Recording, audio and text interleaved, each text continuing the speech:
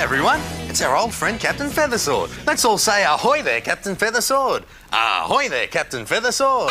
Ahoy there, me hearties! Woohoo! Captain. Oh, yeah. I was thinking today, Yeah. maybe we could use your magic buttons to take us on a trip to the farm. We could get you to do some farm animals for oh, us. Oh, what a great idea! Great farm, yeah! I'm sure some of our friends out there have some ideas on what animals you'd see on a farm. I'm sure, sure. Yeah. Let's ask them. Yeah, got any ideas, anyone? What animals might you see on a farm?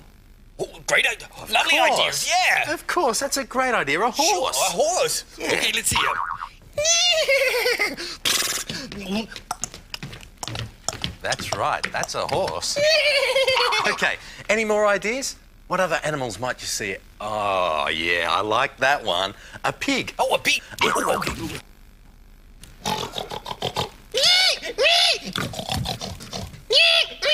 Oh, yeah, pigs make great noises, don't they? Fantastic, Captain, well done.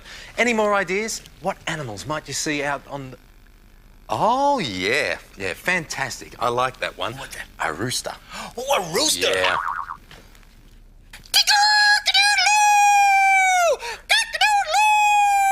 It's a bit of a loud rooster. Oh, Captain, that's excellent. Oh, yeah. All right.